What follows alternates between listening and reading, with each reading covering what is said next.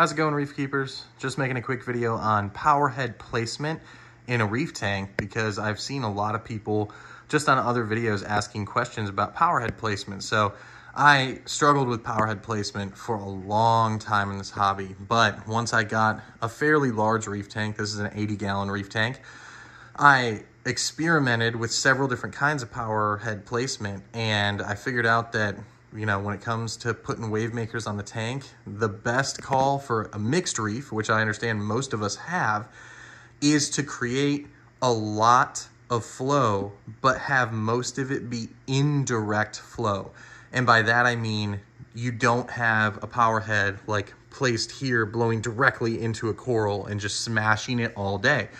Corals don't like to be sma even like Acropora doesn't like to have a power head right next to it, just crushing it at maximum speed all day long.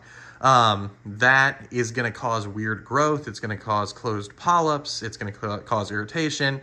So what I did, what I eventually settled on for this reef tank was disregard this power head. This is emergency. It, that's why it points at the surface. It's got battery backup on it. Um, I have a Nero 5 here on one side of my overflow. Then if I come around the side, I've got another Nero 5, a little bit lower on the other end. Sorry, it won't focus.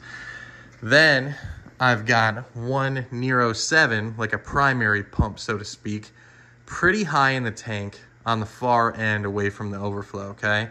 Some people will have the style of tank that is, you've got basically a traditional style with a black wall in the back and your overflow right in the middle on the back. This is a peninsula tank, right? So I, I have some opportunity to put things on the sides of the overflow box and sort of hide them, but that doesn't really matter. Overall, you need to have a lot of flow, but indirect. And that's why this power head is up pretty high in the tank so that it can blow across the surface. So part of its, the water column it generates that goes laterally across the tank is gonna be whipping at these corals on top, which are SPS hard corals. They like more flow, but it's still not angled down at them, smashing them directly with flow, right? Similarly, these power heads on the sides, right, my two Nero 5s, they shoot down the tank across the coral laterally, but not firing directly into corals again, not blasting any of the coral. And where the power heads, uh, the streams of water combine around the center of the tank, you're gonna get a ton of turbulence in the water. And that's why you, when you see coral being pushed this way, that way, all over the place, right? If this is your polyp and it's and it's waving in all directions and getting getting roughed up in all directions, that means that you've achieved the kind of flow you want. You want all of this indirect turbulent flow like there would be on a real reef, right? Um, what you don't want is the polyps starting to close because they're getting roughed up too much. Corals like to be roughed up a little bit. They don't like to be roughed up all day long, every single day and all night, right? They can't handle that kind of beating.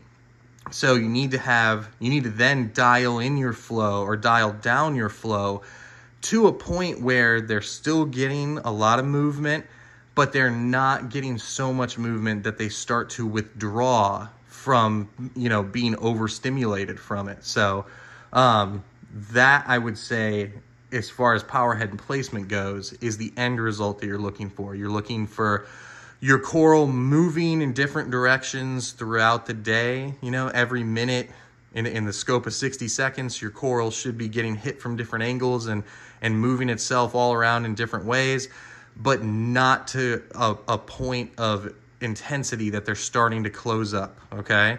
Um, so yeah, indirect flow and, and intensity that is not causing them to close up. I have found that to be the key for my tank to all the corals coming out fully every day and you know looking beautiful and and you know be just just succeeding and growing. So hopefully that helps people with their coral placement. Um, if you like this video and you want to see more please like and subscribe. I really appreciate the support. Thanks guys